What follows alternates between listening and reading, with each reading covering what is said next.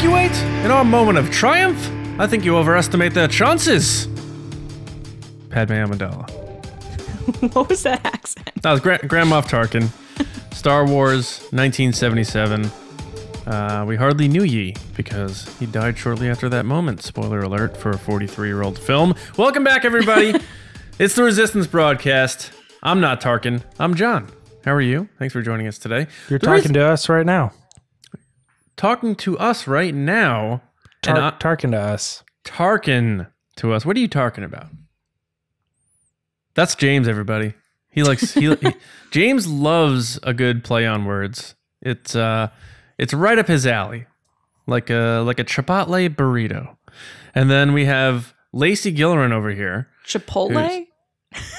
I, I don't have any idea what he's saying. I know you usually say chipotle. I was like, Chipo- chipotle, chipotle, chipotle, chipotle, and Chipotle. Chipotle, yeah. So the reason why I quoted Tarkin, these guys know, you don't yet. Uh, well, you probably do because you saw the title of the episode. But uh, Star Wars villains, you know, we've talked about that on on the podcast. Do they have a problem with villains? Is there a villain problem in Star Wars? Um, we kind of wanted to have a fun discussion about do they kill villains off too soon in Star Wars sometimes? So we're gonna have a, little fun chat about that a bit later.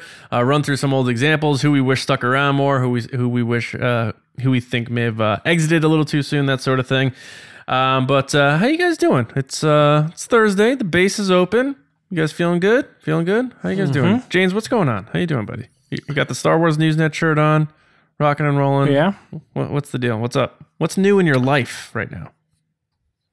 Potty training For for you? for yes for me. A little old for that, but that's okay. So what? Bennett's Um, like Bennett's like two now, right? Two and a half.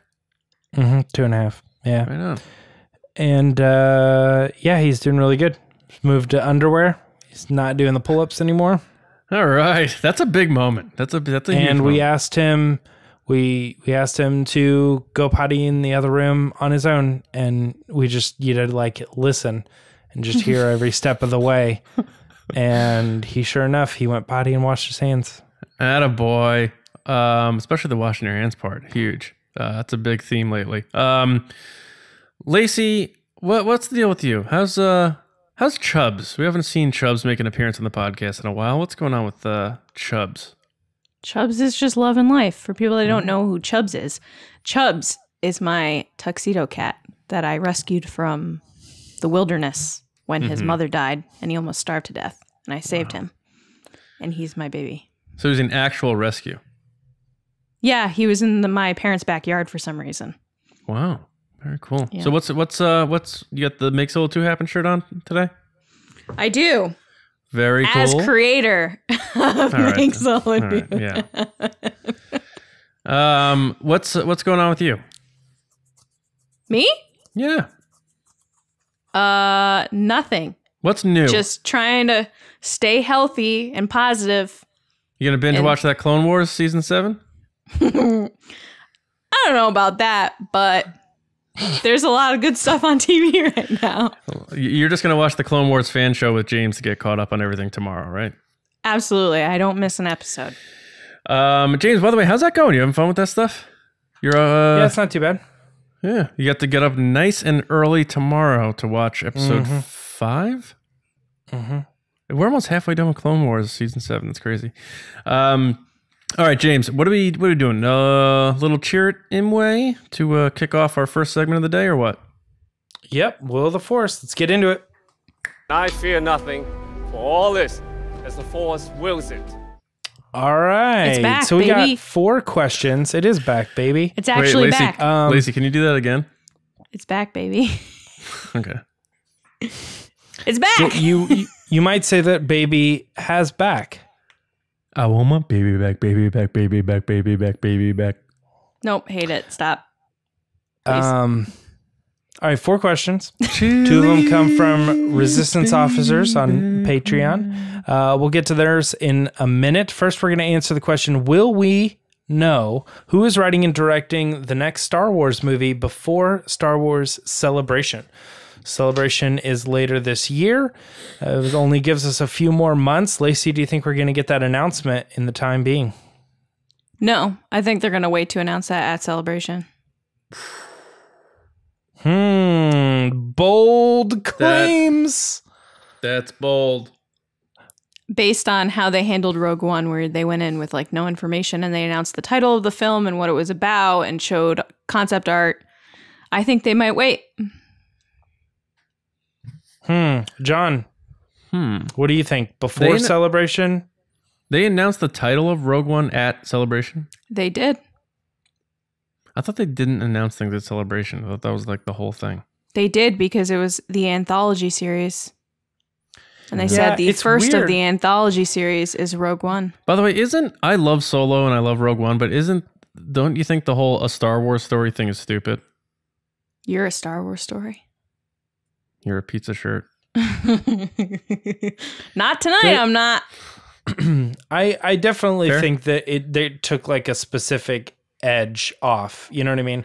Like when you hear like Final Fantasy anthology, you're like, oh, that's sweet. When you're like Final Fantasy, a Final Fantasy story, you're like, this is dumb. right. I, I think I think if they went back, I think they would do. I, I know this is Will of the Force. I'm sorry. I have to get this out though. I, when I get a point, I gotta say it. I think if they went back, they wouldn't do the a Star Wars story thing, and then they would also do. They would leave crawls in. I think that was a big missing part of those movies. But they would do it in a different color or something, and The first- yellow. Yeah, the first ad they ever did or teaser they did for Rogue One was the crawl from A New Hope. The New they, Hope one, yeah. they played off that crawl, so you just assumed like, oh, we're gonna get a crawl, and. Yeah. But um, I mean, Solo sort of had a crawl because it had the same blue text, but flashing with what a crawl would have been. But anyway, um, I don't think so. We're so close to celebration, assuming, and this question is pitched assuming it happens on schedule late August. Um, I don't think so. I, I unless they're about to really shock us and that they have something big planned. I just get this feeling that there's like nothing going on. And why would Bob Iger hide the fact that they have something cooking with a movie with investors? If they kind of knew something was going, he probably would have said something. So he said their focus is on TV, and that makes me think that they don't have anything. uh, Like if they had a big idea for a billion dollar movie, he'd probably have said something. So I'm gonna say no. I don't think they have anybody lined up yet. Man, it is hard to put put money on the table right now on this. I I think my thing is I th- I think if they were going if they announced it before, I think then they could celebrate it more at the event. So I don't think they would announce it at the event. I don't know. I'm no, gonna they say could no. have a future of film panel. They do that stuff all the time. No, I, I I know I know they could announce it at the event. I'm saying I don't think they would.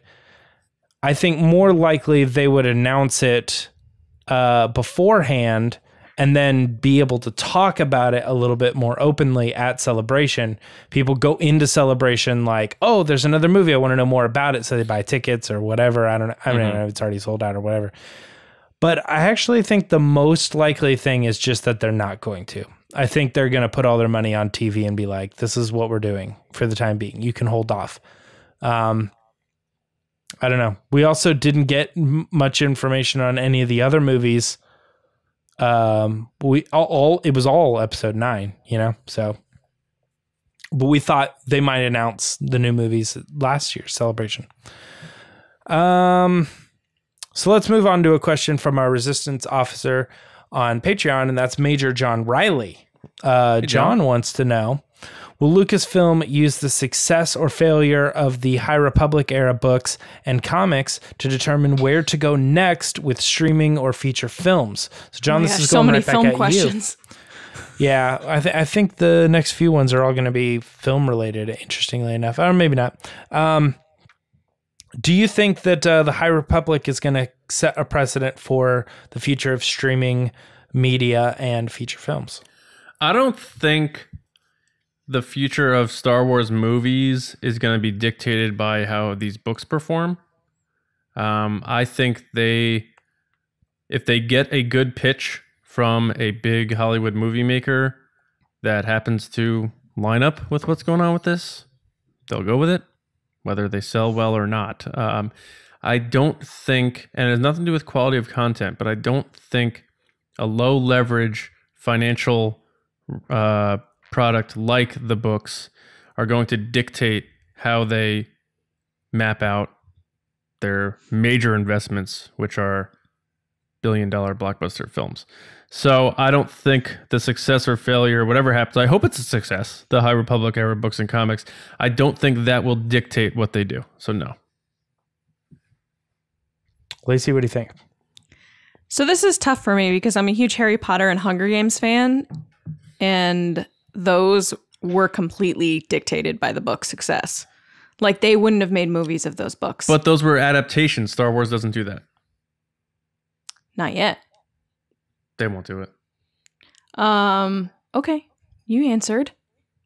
Now it's my answer. I'm sorry. So, uh, do I think the books will determine the next streaming or films? I think that they have a plan in place already. I don't think those books are going to determine that.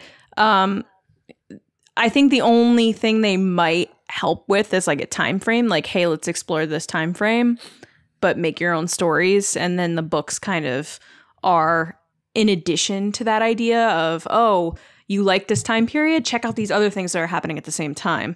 Um, but I don't think the books will determine what's going on unless it's like an overwhelming success, like Hunger Games or Harry Potter or Twilight, where they're just like making so much money that you can't ignore it. And then they'll. And that won't be the case. Right. I don't think so either. Correct. That's my answer. Yeah. I mean, yeah, I don't, I don't think, uh, I don't think these stories or anything are going to be really big. John, you might have uncovered the key, you know, a while ago and said that it all was supposed to tie into something that we let a creator first initialize. You know what I mean? Like, Yeah. which came first, the chicken or the egg? So, even assuming that Benioff and Weiss were actually doing that and it was tied into the High Republic, we don't know that they didn't come up with the High Republic era first and then tag them to be like, you are the people that we want to do this. Are you in? And they said yes. You know what I mean? They still could have come second. Um, although that seems unlikely based on how Lucasfilm has done their stuff in the past. Um, I do think that this could set up fe- feature films, and one of my reasons, and this is is really random. uh, Um, I although I pull from this a lot is Marvel. Marvel's based on comics and stuff, and a lot of those are based on treasured comics. You know what I mean? Like people really like a lot of those characters, Black Panther, Spider Man, stuff like that. Those are those have stood the test of time. But they also have properties like Guardians of the Galaxy, which was a big surprise. And it just comes from like, hey, we have this these characters, we think they're cool, we think they fit into the world that we want to create. Um, and there's not a lot of source material here, and there's not a lot of fans that really back these characters, but we have the vision and we're going to move forward with it. And it totally works. And it, and it has nothing really to do with I, I don't know how true they are to the actual comic, but they they penned uh, or uh, pinned James Gunn to pen the script and direct the movie, and you know, rest is history. We all know how that turned out. So I think it's Yeah. very possible that they could be like, we've created this world, and it's our new sandbox. We want to Yeah. find somebody who can build off of what we've created. Um, and I think that's very possible, especially when you look at the track record that of directors and creators that Marvel pulls out. But let's get to the next question. Let's get to the next question. Moving on, moving on. Will the next Star Wars theatrical film, again with the films, uh, feature Force users that are not Jedi? So I don't know if this comes kind of from the co- comic books, the the rise of Kylo Ren. The Ren characters don't refer to the light side and the dark side. They call the dark side the shadow. Right? We've seen this before in some other things. Lacey, I'm asking you: Do you think that the next feature films are going to embrace something that isn't the Jedi, that maybe isn't specifically called the Force, but it still is? Maybe it's not called. The Force. So I guess the trick here for me personally is that I think the next film is going to be like a Mando film. Mm, I've been mhm. saying that. So if off that, then I guess yes, because if Baby Yoda's in the movie, then yes, you could see someone use the Force that's not a Jedi. Hmm. That's true. That's true. Um, yeah. How does that's a bigger question? How does Baby Yoda fit in with the Jedi? hmm I feel like he's a Jedi. That's, I that's interesting. You think he's a Jedi? He hasn't gone through the training. Ah, We don't know that he's. He probably hasn't got this training. That He's a doesn't make baby. sense, right? well, I know, but too he's also young to 50. begin the training. We don't. Yeah. Yeah, we don't know. All right, John. Do you Uh, think the next film will feature Force users that are not Jedi? So I may have pitched this question weird. I didn't mean it wouldn't have Jedi in it, but that it would feature people that weren't Jedi that use the Force as well, in a sense, or not. like you know? Baby Yoda. I think, and when I wrote, it, I was thinking dark side actually, but it can apply to anything. Baby Yoda's a great argument. If Lacey's putting this claim out there in multiple episodes of ours now that she thinks a Mandalorian movie's coming, so we'll find out who she talked to off air. Um, will the next Star Wars? I think it will. I think they want to bring a powerhouse, and maybe this is a good segue for our, for our discussion later, uh, or a, a teaser for that. A powerhouse level villain, and you, I think you ha- in Star Wars you have to involve the Force in that way. I don't think you can sell people on a Thrawn as your main villain in Star Wars when you have these good guys who have these powers that could beat you. So I think the dark side will always have a presence. I don't know Can that. always beat Thrawn. well, we'll see. Uh. We'll see. Um, but yeah, I, I just feel like the dark side will always have a presence. I don't know that it will be Jedi and Sith or that kind of thing. Um, but I feel like the Force has to be a big part of Star Wars, and uh, I think they need to explore new, curious, strange villains. So I think for that reason, we will see some kind of weird mystical thing happening with the Force that doesn't necessarily revolve around the Jedi. Um, I also think that there's a good chance that they will have Force users that are not Jedi. So I'm going to say yes to this. Three for Um, three. Not to piggyback too much on what John was saying, but I do also like the idea of a villain that you know doesn't use the Force or or a strong character like Leia. Leia was powerful without needing to use the Force. You know what I mean? Mon Mothma is powerful without needing to use the Force. Like a lot of these characters are. Um, and then when it comes to the villain side, like we have Tarkin, right? Tarkin, not a Force user by any means, but canonically has defeated Vader in a one-on-one fight. So it's like you you have these villains whose strategy becomes their biggest strength, and if they have the strategy to defeat somebody, they become the ultimate hunter. Um, so I I do like that idea, and then beyond that, I don't want to get too into it, but beyond that, just other forms of like you know we we are not Jedi. We don't believe what the Jedi believe, but we believe in the Force, right? They've explored that, the Church of the Force and stuff. Um, so uh, three for three on that one. That that's an interesting. I I don't know that I expected us all to agree, and I bet there's But it was- uh It was a three for three with three very different answers. yeah that that's what I was gonna say is like the, it's somehow rounded back to the same answer, but from way different positions. Um, if you guys have answers to this too, we'd like to hear them in the comments. So put them down there and we'll have some discussion, maybe some ideas or maybe why we're all crazy. And they absolutely will feature the Jedi heavily. Um, last question is going to be from another resistance officer on Patreon. And this is our resistance officer, Commander Old Rex, which is interesting because it all kind of sounds um, like, like it's together.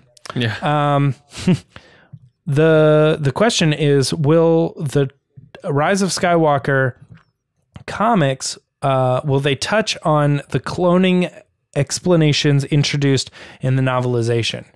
So, Lacey, I'm going to start with you on this one. Do you think there is any chance that they're going to touch on the cloning stuff? So I haven't had a chance to read the novel yet. Um, but obviously that we talked about it a little bit that they touch on how Palpatine was a clone.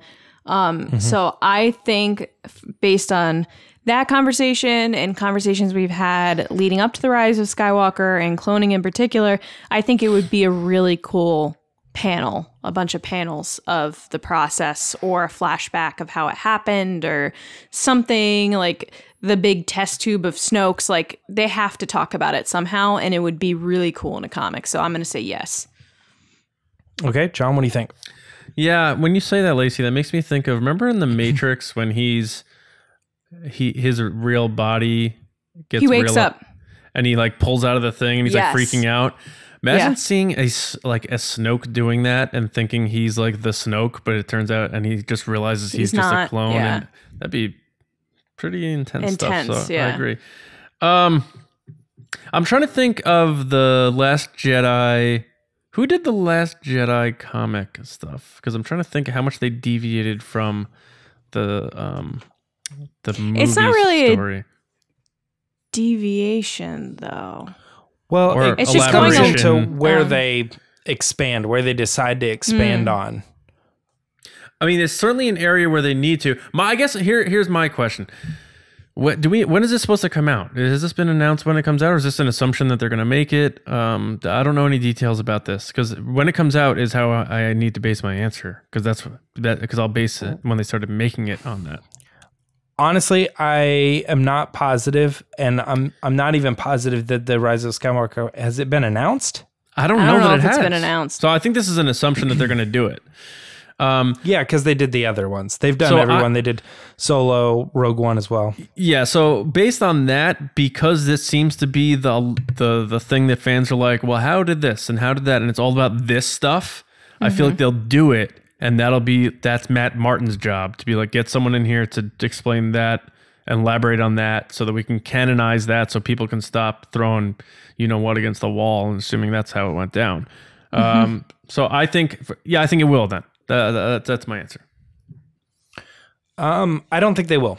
Uh, and the reason is, is while the only one that I think have was interesting and kind of expanded on a few things was the Rogue One um, run, but as far as all the other ones have gone, they really just breeze through the story. They have like six issues to get this thing done, and you can kind of split up the story, and they only have so many pages and panels, and they really just don't like expand on. Well, we have so much to tell. Let's just let's go over here for a couple pages and explore this world. Um, most of the time, like I think, I think that I wouldn't be surprised if there was a mention of the cloned body, or like you see like up up him look like Kylo Ren like looking over, and they show something cool from the comic or whatever. But I don't think that's really exploring that idea. Like one of the Snokes winks at him from inside the tube, like. yeah. And this is probably a good time to mention too that um, I forgot to mention it on Monday's episode, but on Tuesday, when the novelization came out, we also released a book discussions video. So I'm I'm there with Kyle Larson. We're talking all about the novelization, and uh, we're fo- we focused on the differences between the movie and the book. So we'll that- see. This is another thing that with the comic adaptation. Is that the differences lie. exclusive on the Star Wars Newsnet YouTube channel? It is. Oh, nice. People should go subscribe. Da-da-da. Da-da-dun. All right. Well, that's it for Will of the Force. Lacey, you want to take it to the Patreon Podrace? yeah. Hey guys, it's time for the Patreon pod race.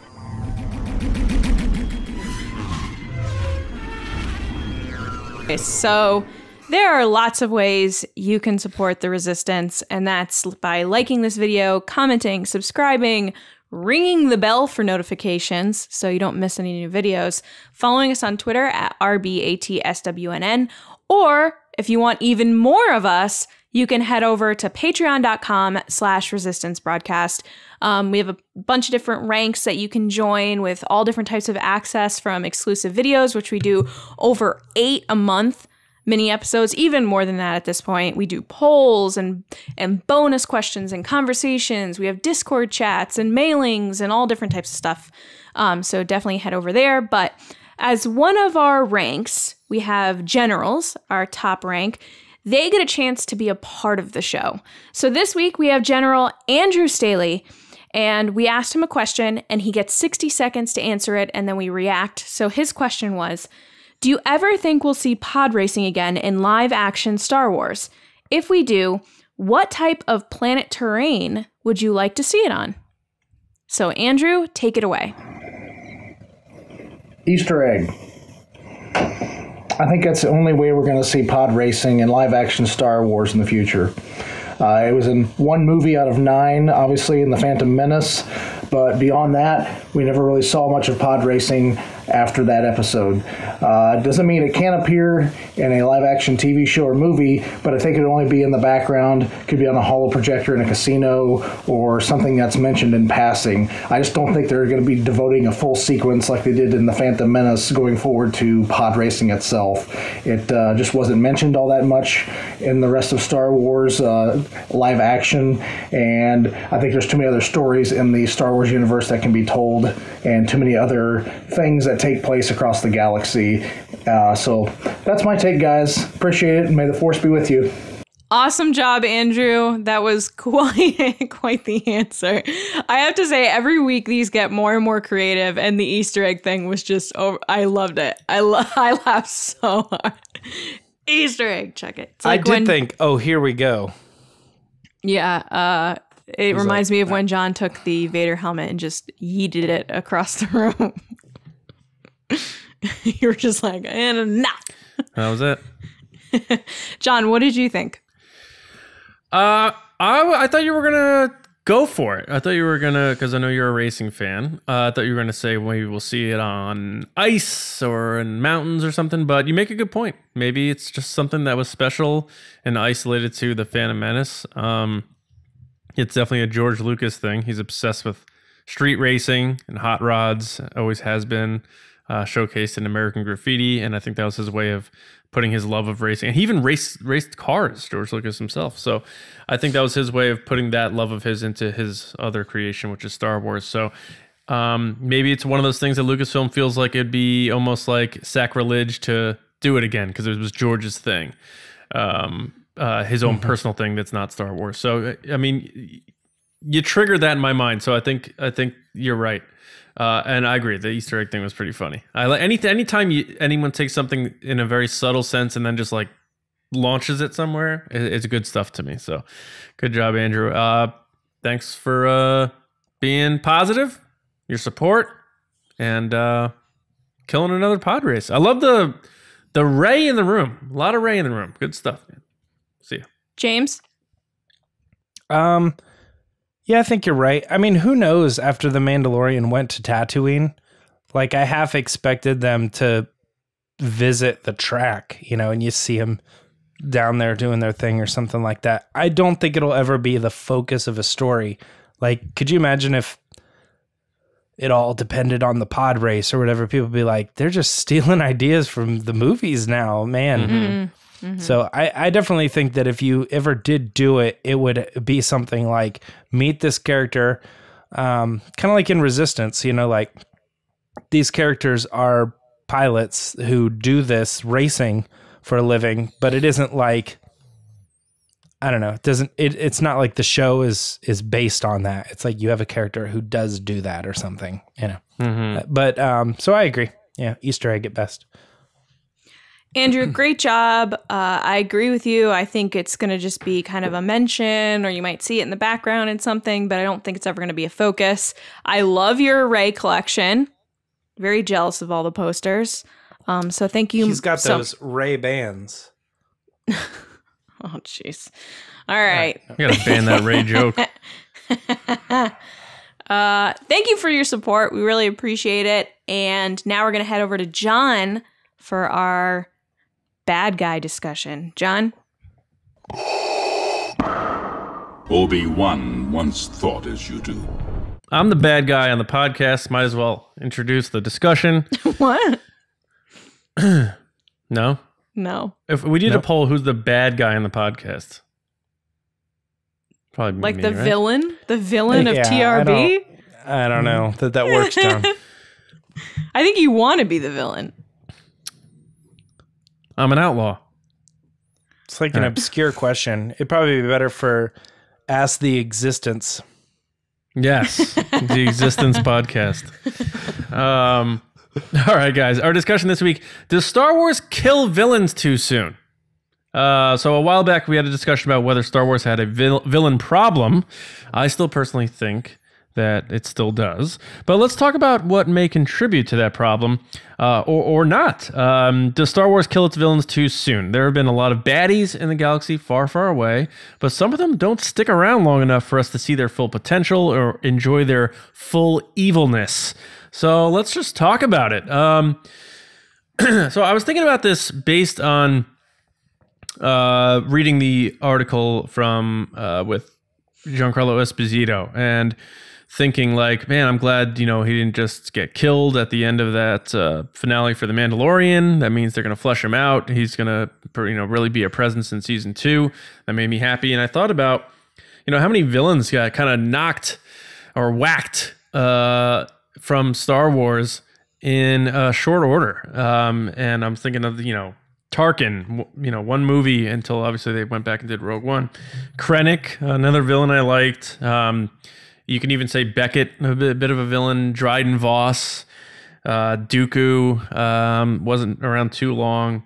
Maul until they did that resurrection. Uh, George Lucas, I think, if you put a lie detector up to him, he'd say he killed him at that point. Uh, Phasma. So a lot of villains who were pretty cool had a really short stay, in my opinion. So. I, I, and we have so many fleshed out heroes and, and stuff like that. And really, the two main villains that stretch through time, of course, Palpatine and, and you could say Vader. So I just wanted to talk about and have a fun discussion. Not nothing too serious, but I, I think they may kill them too soon. What do you guys think, uh, James? I'll start with you this uh, this week. Uh, I have this feeling that you're going to disagree with me, and that's cool. But what's your take on uh, on Star Wars and their villains? Are they they they whacking them too soon?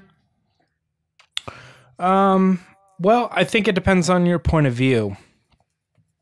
So, if you look at a character like Tarkin, well, he died in the first movie and he didn't carry through to any others.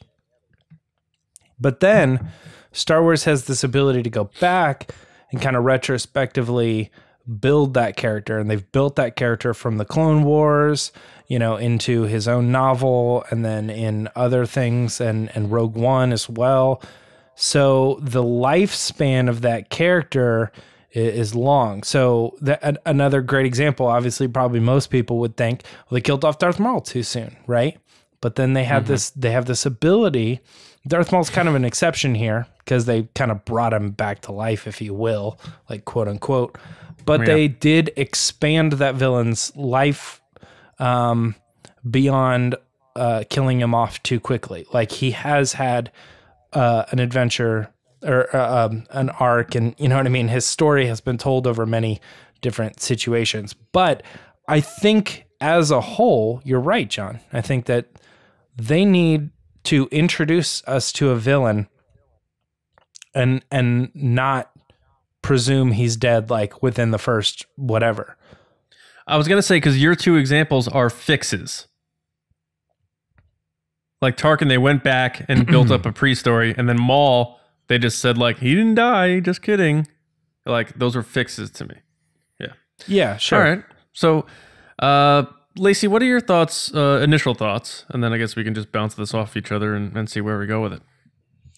I 100% agree that there isn't any really good like there's good villains but they don't stick around a lot. they're just they're in and then they're out and they always get killed by the end of the movie or the end of the show. I think uh Giancarlo Esposito is really the first character that we're like, "Oh, this is where he's going to die." And then he didn't die and you're like, "All right, cool. I guess he's sticking around for a bit. Great. I'm excited for that." Um, but I mean, the only villain that I really consider as someone that like stuck through everything is obviously Palpatine. You're like that guy was in all nine movies, kind of whatever. Um, but even when they brought him back in the Rise of Skywalker, like I was pumped because that meant other things could take place. But even then, I was like, ugh, it's this.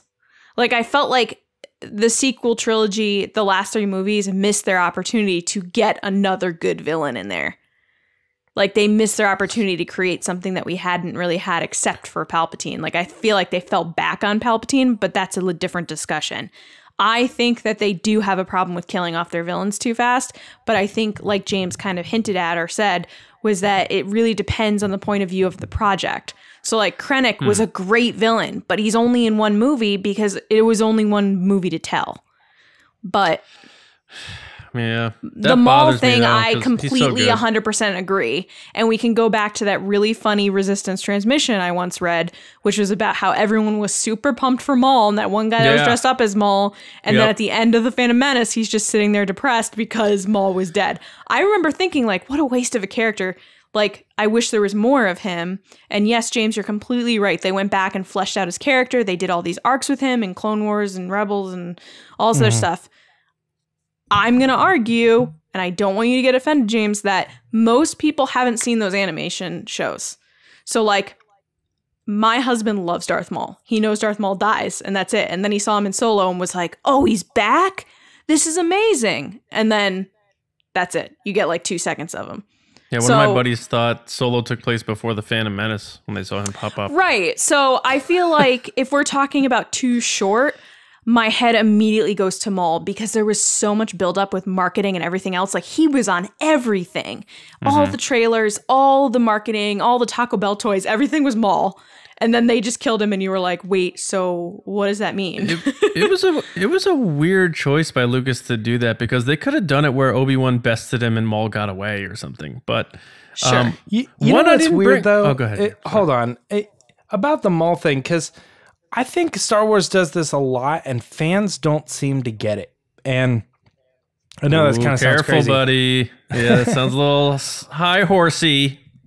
Well, what I what I think the the directors and what the the story that they're telling here is when they bring in a villain and they show how terrible that person is and how much how much of a true enemy that person is and then they're defeated very quickly i i don't think it is to show never mind we take it back they really weren't that important it's to show that there's someone bigger controlling the situation. That's I think that's what happened with Maul. I think the the reason they were killing him is because he ultimately knew that Maul was not the big bad of that trilogy. He was telling a story where the big bad, the real villain of this trilogy was still Yeah. out there. I got a problem with that. I think that's the same thing with Last Jedi. I think they were supposed to it was supposed to be uh, it was supposed to be a surprise that Snoke dies and you go what he was so powerful he was so crazy and they killed him where are they going to go next and it wasn't it was like the reaction to that was more like oh well then i guess that guy wasn't that powerful or wasn't that important it was like the mm-hmm. negative side of it and it's supposed to be like it's supposed to be like we just took it to the crazy level get ready for the next level and it and Yeah. it, i don't think people are reacting that way when it comes to killing off a villain tarkin's totally different like that, that was just I a think- whole other world at the time yeah the Snoke. the- I mean, bringing up Snoke's good because I did want to get to that because that to me is another. He was here too too briefly. Uh, very minor, not even in person in TFA. Um, uh, maybe six minutes in TLJ and killed. Um, and he's supposed to be like this emperor type of villain. Dun, dun, dun, dun. Yeah, yeah. Price is right, horn, without a doubt. Yeah, uh, you went over a dollar. You're out. Um, that's what i yeah that's what i just said yeah, but but I think that well, I don't want to get into that too much, but I think that kind of forced JJ's hand. He's like, oh wow, they just knocked out the guy who's supposed to be the new emperor. So now what are we gonna do? But uh, Snoke, yeah, that is another example uh, of Snoke being maybe a villain that was killed too early. Rian made that choice to build up Kylo Ren as the supreme leader, which would eventually make whatever they end up doing with Kylo Ren more impactful because he's going full evil as supreme leader at that point. So I get that.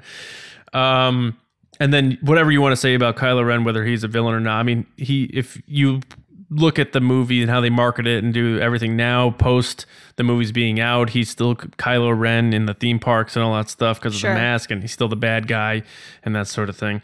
Um, so i have a he's question one, for you guys one exemption, but yeah, do you do you not lacey you said palpatine uh, sorry palpatine was the only villain that really like carries over but you don't think vader like Vader. They introduced him in the first movie, carried over to the second No, movie, no, no. I, carried s- over to the I third said movie. Palpatine and I said Vader, I'm pretty sure.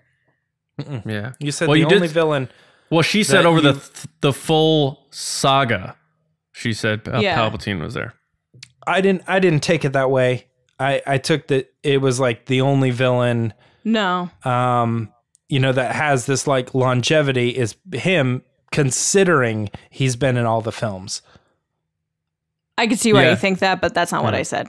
I Okay, said what because- John said. because I think Vader is a good example of they didn't kill him in the first movie, and They that have, was a yeah. good thing. They could Yeah. have, yeah, but they they let him breathe in the second movie, and they let him breathe in the third movie. And even though he's redeemed at the end, he still had basically like two and a half to three movies as the villain, and then that comes into play then with Mm-hmm. Kylo Ren because he too also had two to Right. three, you know, Sure. movies roughly as the the villain of the franchise. Um, I think Kylo people Ren just tricky, didn't though. anticipate Vader's turn, whereas they a lot of people did anticipate his turn. So it kind of painted him wishy washy through the whole thing. Does that kind Yeah. of make sense? I, I get what you're saying. I, I don't see. I get in The Force Awakens, after The Force Awakens, I would have told you 100% that Snoke and Kylo Ren are the villains. They are the villains of mm-hmm. this series. Mm-hmm. Then The Last Jedi changes all of that, right? And then we go into mm-hmm. the third movie, and I'm like, I don't really see him as a villain because, like, yeah, he's doing making bad decisions, but like he's not 100% in it. Like, there's always like this push and pull. I feel that like we were just talking about with Snoke, Snoke was a villain that was set up in such a way that you're like, oh my gosh, he looks gigantic. Like, what does he look like in real life? What does this mean? He's he can use like the force and he has all these powers and everyone fears him. What does it mean? And then the second movie, he dies, and you're like, oh, well, who am I supposed to hate now?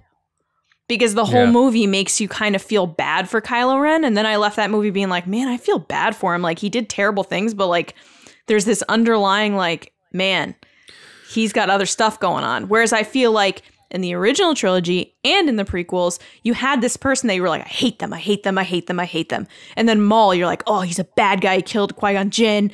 And then you're like, I'm gonna get to hate him more. And then he dies, and you're like, oh, I wish he was in the other two movies. Yeah. Well, that's why I, you know, Kylo Ren is part of the reason why I have my other argument, which is Star Wars has a villain problem because they lean heavily on this whole redemption thing, and they even and they redeemed- marketed him a lot. Yeah, and they even redeemed Maul in the eyes of many in his final battle with Obi Wan Kenobi. They kind of like had this weird, uh, peaceful moment together where they're talking about the chosen one, and some people felt like that was Maul. Like, and Maul went on his, you know, anti Palpatine crusade. Like he was a weird. They did a lot of weird things with Maul.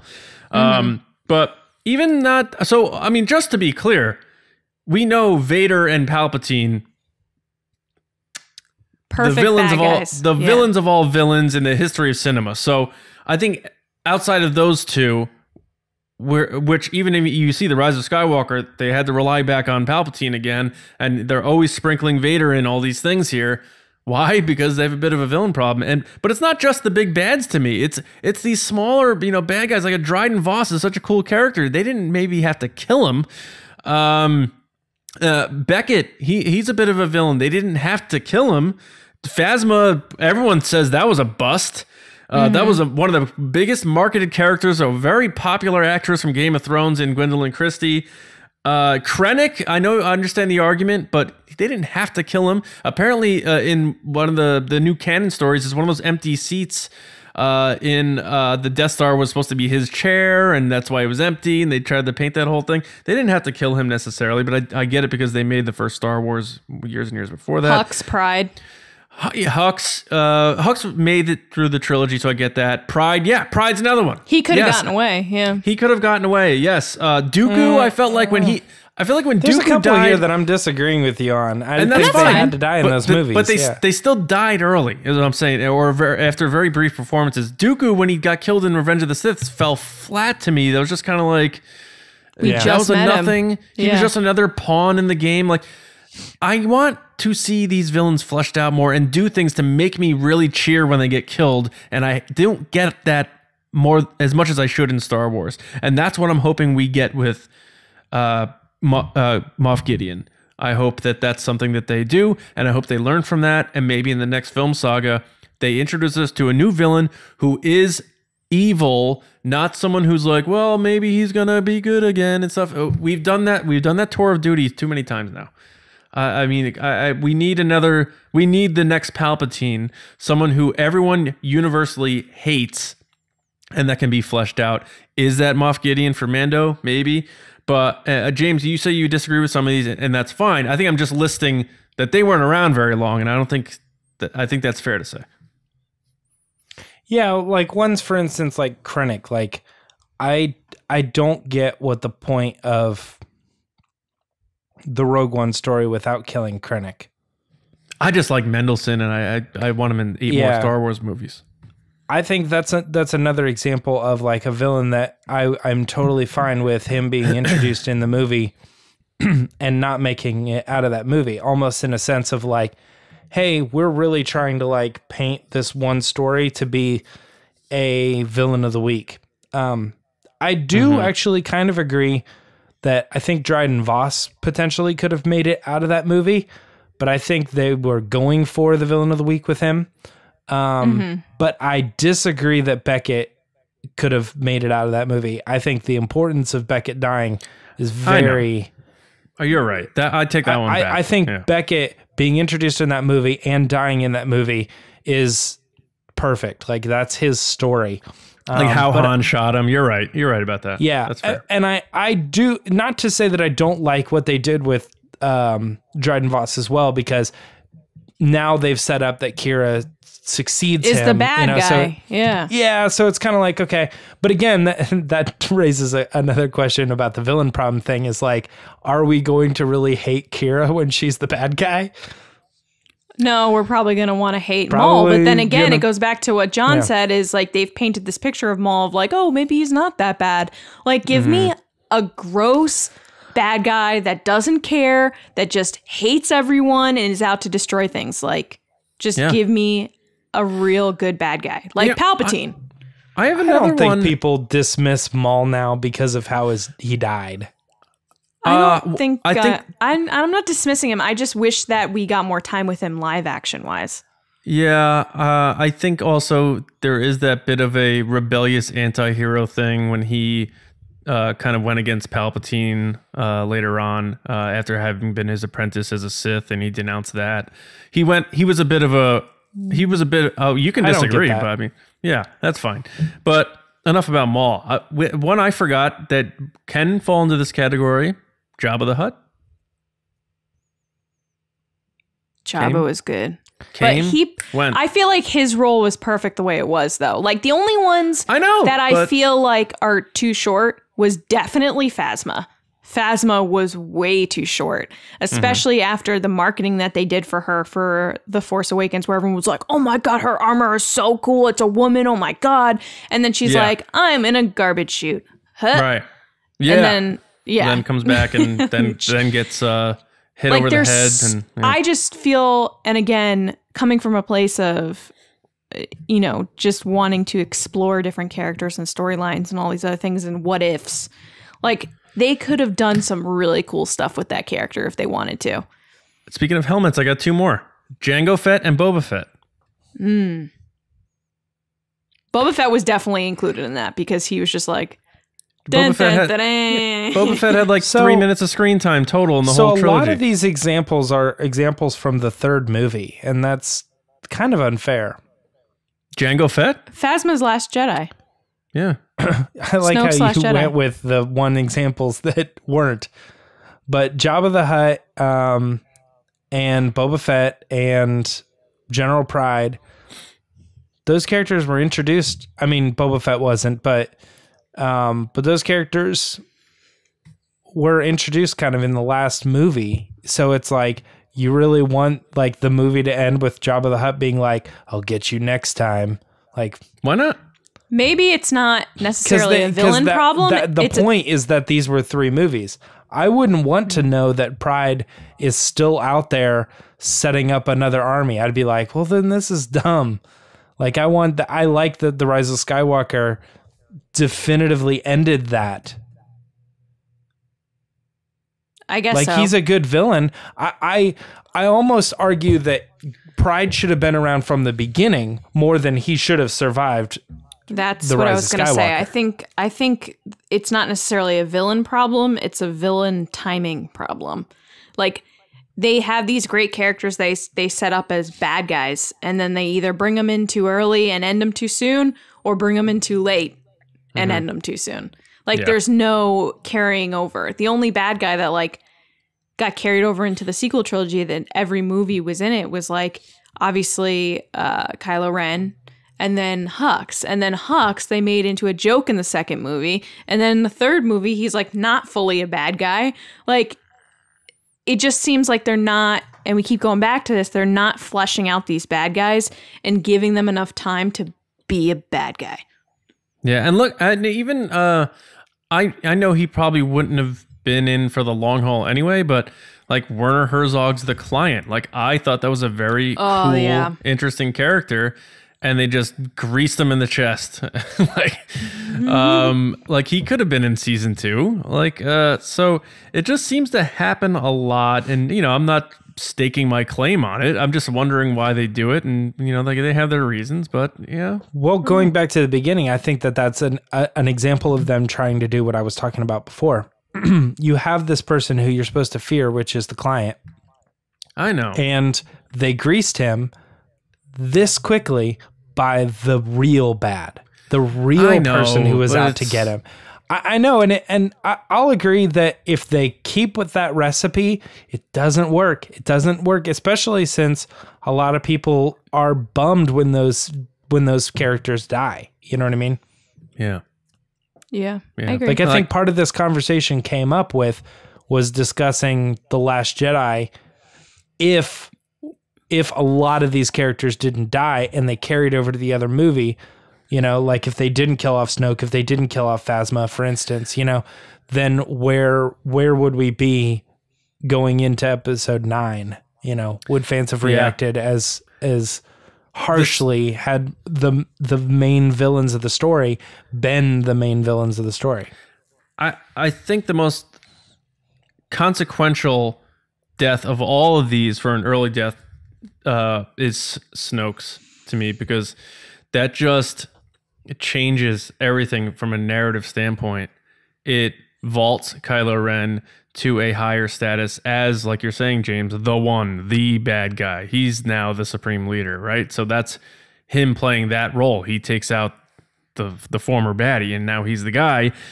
Um, and spins everything around. So, like, if Rian Johnson didn't kill Snoke and Snoke carries over to Episode Nine, then the, what does JJ do then, or whoever winds up taking nine? Like, you never know. Everything changes from the butterfly effect. But like, does he make Snoke uh, Plagueis after all and stuff? Like, there's so many. Th- that was such a pivotal change. Like, where the trajectory of the sequel trilogy uh, just spun in wh- whatever direction we wound up landing in because of Snoke's death. Whereas a lot of these is just kind of like not necessarily not important, but like, oh man, I wish we saw more of that person. Oh, I wish we saw that would have been cool to see more of that. And sometimes that's all you need in Star Wars, right? Am I right, Lacey? Like, it would just been, is it? It's okay to just say it would have been cool to see more Phasma. I feel Or- like that's where I'm coming from, but I have to agree with you. I think Snoke is the most, to me, the most jarring death that was like playing off of what James said earlier of like, oh, what happens next? But I don't think the what happens next was fully fleshed out. So that's why it feels like I didn't get the payoff of him being the villain. Yeah. And that's No, why I yeah. have those feelings of, oh, Palpatine was called in off the bench because Yeah. you know, our star player just got, you know, a concussion. So I have to pull him off the bench and put him in. Nice. Look at you with the sports analogies. You're such You're a big sports fan. It's crazy. I know. I can't Um, wait to watch all the sports this year. A lot of sports happening this year. Yeah. Dun, dun, dun, dun. Um, all right. So, do you Well, I've got another example Yeah, go that ahead. you might And like then- to play with. Yeah, and then we should uh, do final thoughts after that, probably. But yeah, Rebel season one. Grand Inquisitor built him up, killed him at the end of the first season. that's Um, that's fair. Rebel season two. All right, there's other Inquisitors. There's there's a bunch of them. Seventh sister, fifth brother, um, ninth brother, all dead at the end of the second season to bring in Maul, right? Maul did carry over for a little while. Uh, and the third season is where they introduced Thrawn, and I think that's where they that's where like the problems kind of were fixed because they they introduced Thrawn, they kept him through to the fourth season. He did defeat them, um, so to speak, except for Ezra. You know, flips it But on we him don't or know. whatever Yeah. and um and that villain is not dead and people are still waiting to see where that story goes. And i don't think they're going to start that story with like oh Thrawn died a while ago. You know what i mean? Mm-hmm. Like you're going to see that character carry through for a, a lot longer. So i think introducing him back into the canon i know he's a long he's a respected villain but they brought him back and they brought him back with the intention for him not to be a Krennic or Yeah. a Snoke. You know what I mean? They Well, are very I well aware that this good. character is going to run through for a while. Yeah. The the animated because there's a lot of villains in the Clone Wars that you could bring up, but that's more of Yeah. a like you say this week on the serialized Villain like of the this, week, yeah. This is this week's bad guy. Um, so there's plenty of those. Um, but then even even Resistance, like a lot of people like Commander Pyre, didn't he die in like the finale or something like that? I didn't finish Resistance, but uh, someone said he died. Uh, spoiler alert. Um, people liked him, so I mean, there's there's a lot of these villains that people maybe say like, oh, that would have been cool to see more. I loved his uh, his gold uh, his stormtrooper armor or the red stormtrooper armor.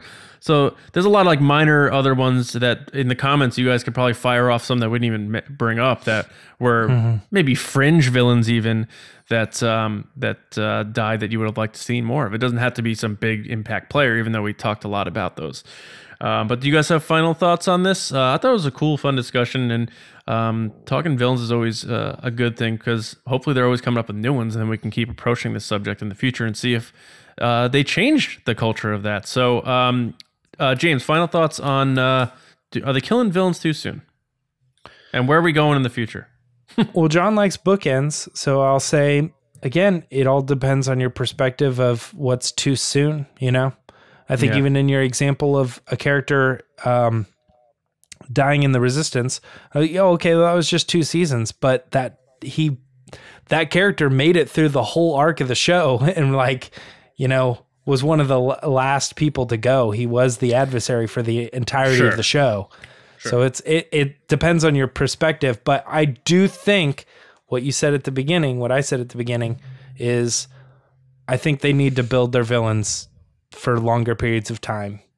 Um, introduce us to a villain and let them be the big bad the whole time. Stop killing them off and telling, but wait till you see the guy who's really in charge. Yeah, yeah. Yeah, I, I, feel mean, like that's, that's, cool, kind of- but I feel like that's a collective that we've all kind of agreed on here. Lacey, you you're you are on kind of the same page with that, right? Yeah, I think that we need a really good bad guy in the future of Star Wars film and TV, which we're already getting in TV with Moff Gideon, but the next films, they need a big bad guy. A big bad guy with no yes or no, no pull, dark side, light side, whatever. Like, just give me a bad guy. And I think that, like James said, yeah, a lot of these villains have played their part given the time frame that they were supposed to play but at the same time like he said like i just think they're getting killed off too early that you don't get the full time of like them wreaking havoc. And it's always like oh well what's the next person? Well why don't we just focus on the one that we have that we already mm-hmm. like? Like give us some time with it. Yeah. and i think that it- out of all of them snoke i think is the most jarring for me. And it always will be i think because you have Vader and Palpatine, which just feel like s- they're just such good bad guys. Yeah. So when Snoke was introduced, you were like, oh man, what does this all mean? He is Mm-hmm. a good bad guy. And then the next movie, you're like, dun dun, he's gone. yeah. Actually, I have one more final thought. I know that's kind of crazy. I just thought I would like to see. I wouldn't mind if if they did a movie where they were fighting the villain and they defeat the villain, but they do kind of the Doctor Strange aspect of it. Of one of the good guys starts to sway away. So they still have like the villain of the week as far as like the franchise is going, but you're seeing a person turn into the ultimate villain, siding with the bad guys. You know what I mean? Get Yeah. get the beginning to end, especially when Like, like, uh, we got we're supposed to get that. Well, we're supposed to get that with Anakin, but we already knew he was going to turn. Right. It, how great would the would the prequels have been if we're like, oh, that's Anakin, and this is going to be a great story, and like we're watching him decline. We didn't know it was going to happen. That that becomes really cool because by the end we're like. Anakin the villain, that guy sucks, you know. But we know he's redeemed, Yeah. so it, I don't know. It becomes a bigger Yeah. thing. But yeah, I'd like to see that. I'd like to see a decline. Yeah. Um, Lacey, anything else? Nah, dog. I Second think, final thoughts. I think the um the whole like this is the real bad guy thing is like it's that sequel thing where it's like yeah that first bad guy was bad but wait till you see this one and it's Yeah. like the Death Star 2 it's bigger Starkiller base oh that's bigger and it's I like made Snoke. Yeah right. And it's just uh that's a very like movie sequel thing to do like like Scream 2 they're like oh I was really the one who made my son a murderer and stuff. It's like oh god. Like these retcons. Just insane. Um uh, but I I do think it's a problem. You guys know I I've thought Star Wars in general has a villain problem and a lot of that has to do with the whole oh I'm conflicted and I'm gonna be redeemed thing. Nope. We need the next Palpatine. We need the next big evil who everyone just hates. There's no redemption whatsoever, just pure evil. The the the the world leader that George Lucas would write these types of stories about that it needs to be vanquished from the from the uh, galaxy. Um, it it it's part of that hero's journey. You need to defeat evil, and we need pure villains. And uh, we rode Palpatine as far as we could, and it's time to introduce some new bad blood. So uh, that was a fun discussion, though. I like that. Like we always say in the comments, let us know others we may not have brought up. Uh, your thoughts on our thoughts about this, and do you think Star Wars kills off villains too much, or maybe you disagree with us? Either way, light up the comments. Hit us up on Twitter at rbatswnn, like you did with these in our next segment. So, Lacey, it is time. It is. What? It is time for resistance transmissions. So, yay. So, guys,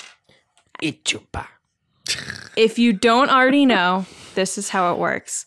Every week, John puts up a crazy, wacky situation on Twitter and he asks you guys for your responses and you give them to us and then I read them. So I don't know what the scenario is. I don't know what the answers are. I'm going to read them right now and we'll see what happens. It's a fun surprise every every Thursday.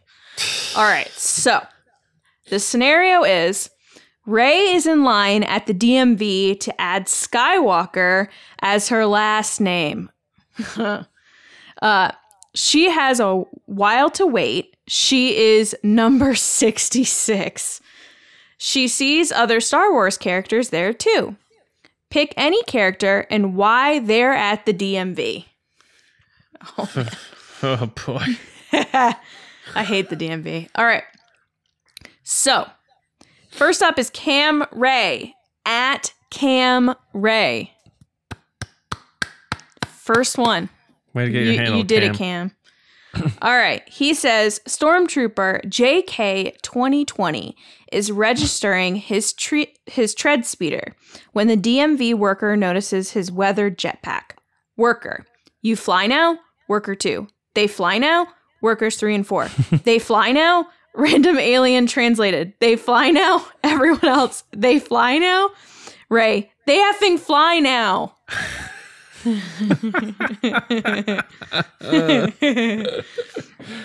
Uh, remember when everyone was so upset that that was like a part of the episode nine? They're like, they already flew in this thing. Oh, I don't remember that. Ugh. I don't think everybody was upset. Oh, I think there were two God. people were upset, and then everybody was talking about how those people were upset. Probably. Yeah. Next up is Adam Odell at Odell Adam, who said General Grievous is there updating his organ donor information. and it's an image of General Grievous on fire.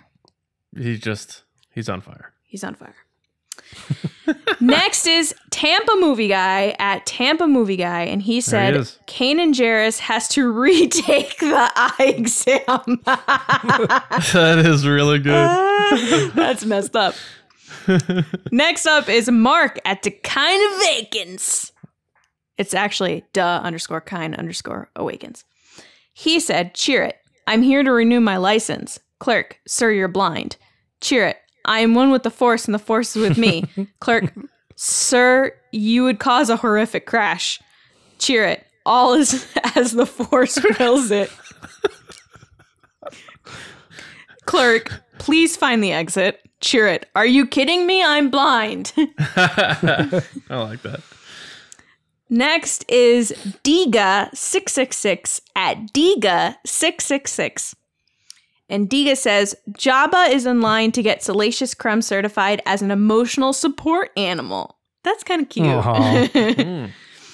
Next is Todd DeGrossier at Todd Knows Best. And Todd said, Din Djarin is there arguing with the worker about how taking his helmet off for his updated license picture Oh. is not the way. it's Nice. not the way. It's like, take very off your hat, sir. He's like, no, I've got hair. Yeah.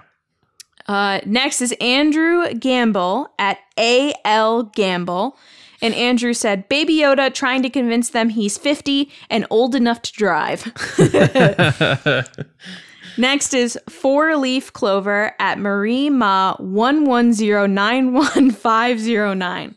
You know, Wow. Marie, you should get not your handle. you should not put your social security number as your Twitter handle. Just a little advice, but That's phone number. And Four Leaf Clover said, General Hux is at the DMV to renew his license. He approaches the counter and recognizes the clerk clerk as Poe Dameron. I guess Poe Dameron has some downtime from the resistance. Uh, when his license arrives in the mail, he's immediately enraged because his name is printed as General Armitage Hugs. oh, got him. Yeah. Next good. is Matt at MIB 1188. And Matt said Obi Wan is arguing with the clerk that they don't need to see his identification. I There love it. That is very good. Agent 37 at underscore Agent 37 says Jar Jar is there, dot, dot, dot, because he works there. Poor Jar Jar. Poor Jar Jar is paying the bills. All right, guys, thank you so much. If you want to be on the show, make sure to follow us on Twitter at RBATSWNN. Every week, John puts up the crazy scenario and you give your answers and you could be on the show. Back to you, John. All right, guys. Thanks so much for those. We love ending the show with those because they're so fun. And uh, seeing Lacey read them through the first time, always a treat. Um, but thanks, thanks for listening and watching and being a part of the resistance. Uh, the base is always open for you guys. So make sure you're subscribed to us on whichever platform you prefer. It could be Apple Podcast, SoundCloud, Spotify, YouTube, any of the other ones. You can go to resistancebroadcast.com and check uh, links directly to other apps and stuff that you can uh, find us. So we're everywhere. If you have an app that doesn't have us, you can find another one. Uh, make sure you guys are uh, going to StarWarsNewsNet.com every day for your latest Star Wars news, reviews, editorials, information, and more. If you'd like to support what we do, we have two episodes every week, plus a lot of stuff exclusive to our YouTube channel and a lot of exclusive content on our Patreon page. But if you would like to support us, head to patreon.com slash resistance broadcast. We appreciate all the support for what we do. And also, you get a lot of benefits and rewards from that. There are five tiers uh, from $2 a month and up. And as you climb the ranks from lieutenant all the way up to general, the perks and benefits go up as well. Uh, there's also a Discord server and uh, mailings that uh, Lacey puts together and sends out for us. A lot of things I can't even get into now. Just, just take a minute, hop over to patreon.com slash resistance broadcast and check it out. And if you see a tier that works for you and you want to support us, we appreciate it very much. Uh, very special thank you to our generals, Carmelo, Andrew Staley, Neil Lowery, Jeremy Myers, Neil Shaw, David Probus, John Reese, Seth Keim, Micah Harrison, Tampa Movie Guy, Michael Gaines, and Val Trichkoff. Generals, thank you so much for all of your support. We really appreciate it. Uh, we're all wearing shirts from either Star Wars Newsnet or TRB. If you want to, head to teepublic.com slash user slash resistance broadcast. Sales are happening all the time. James makes most of our designs for us. Uh, so good job to you, James. Um, more coming as always, and probably some cool news uh, about the future of our merch uh, a little bit down the line. But that's all we're going to say right now. Uh, you guys can find me. Did I do everything? Yeah. Yeah. Yeah. Yeah. You guys can find me on Twitter at Johnny Hoey and at StarWarsNewsNet.com. James? Twitter and Instagram at Mirah Trunks. Lacey? People can find me on Twitter and now Instagram, more active, at Lacey Gilleran. Going for the 10K on Instagram? What are you talking about?